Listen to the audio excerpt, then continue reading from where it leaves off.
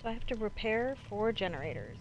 I don't have to do it all in one trial, and you don't have to repair it from 0 to 100. You can go up to one that's already been worked on. As long as you turn the generator on, it counts.